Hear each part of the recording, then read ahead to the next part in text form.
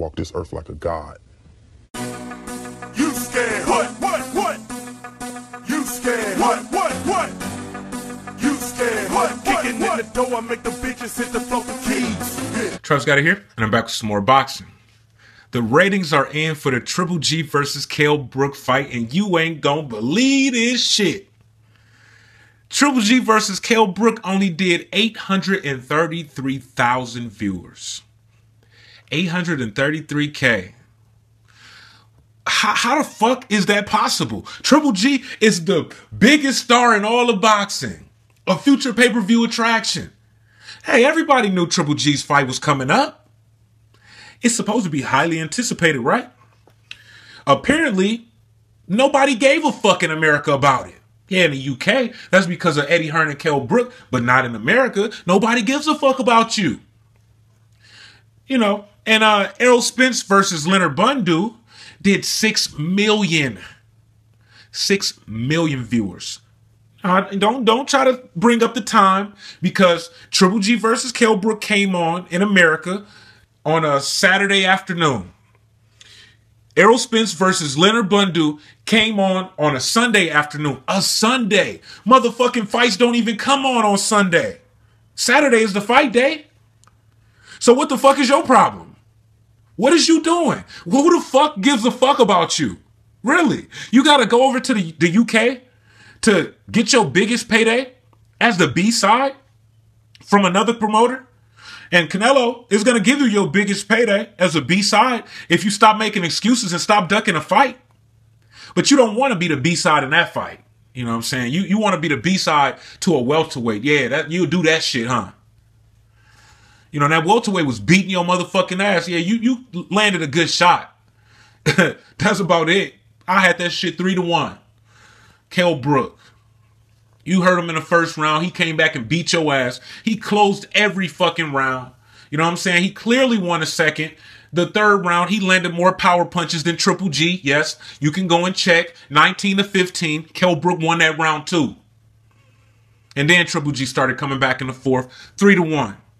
Then scored the fifth round TKO, which you know really they could have let that shit go on, but you know Kell Brook might have ended fucked up even if he would have won. You know what I'm saying? So, hey, you can't really argue with the stoppage, but at the same time, you was getting your ass whipped by a motherfucking welterweight, and now you the most wanted man in boxing. Them goons is out for you. They coming for your motherfucking head.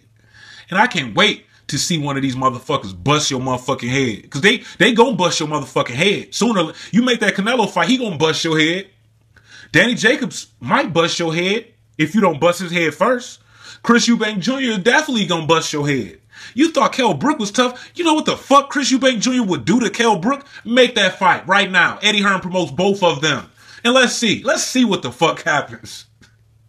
you, you was letting Kell Brook do that shit to you, man. Fuck out of here, man. Eight, 833K.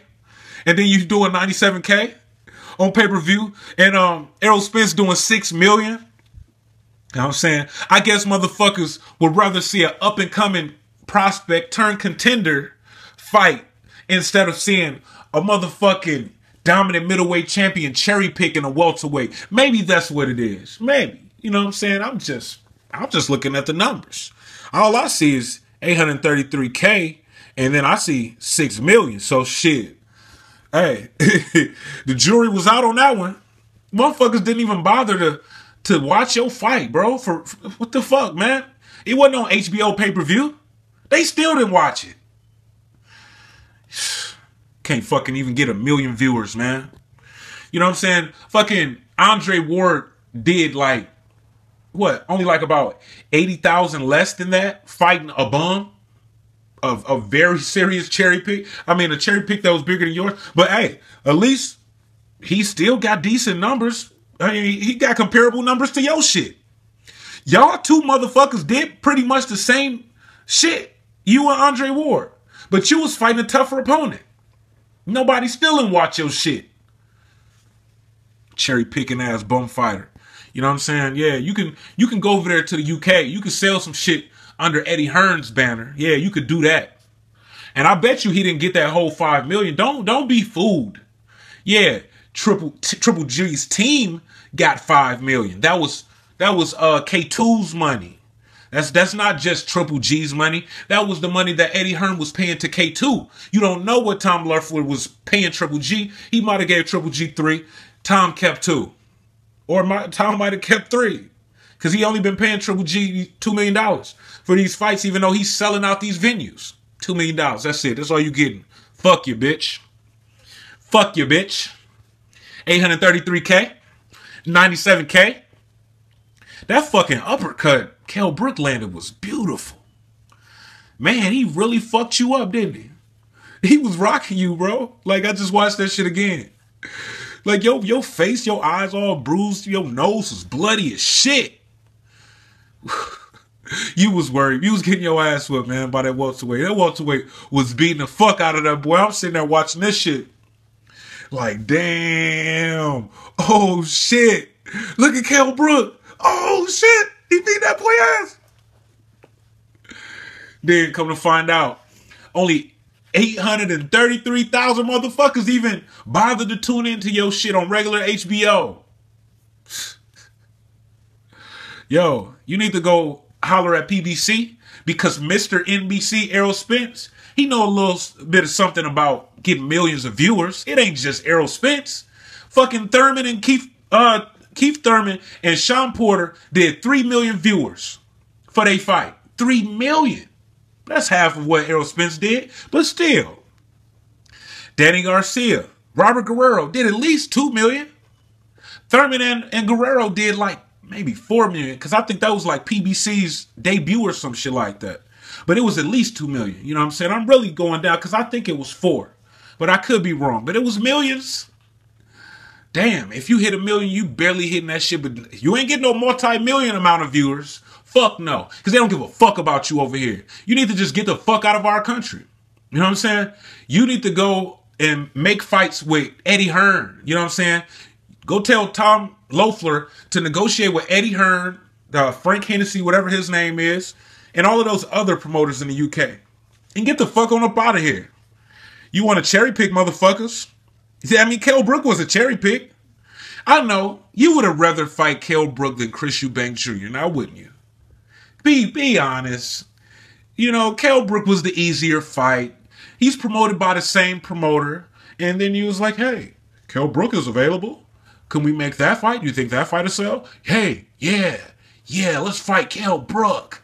Kell Brook is a welterweight. He doesn't have anything to lose. He's going to be going up two divisions and uh, the the Canelo Khan fight sold, so this fight will sell. This fight will definitely sell. And then it was an easy. I mean, not an easy. It was supposed to be an easy fight.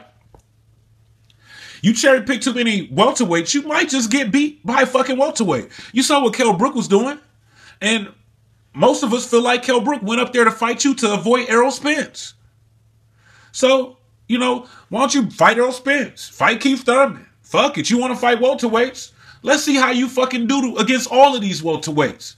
Because one of these welterweights is going to beat your ass. Kell Brook has fought bums his entire professional career besides one fighter. He doesn't really have the experience of fighting elite fighters because all he does is fight bums just like you. Right? That's what you like to do. But you fought the welterweight bum fighter. You the middleweight bum fighter. The middleweight bum fighter ain't supposed to be getting his ass whooped by a motherfucking welterweight. But you was. And nobody didn't even bother to tune in. I'm Travis Gotti. Thank you for tuning in to Travis Gotti Boxing. Subscribe. I gotta quit fucking with you.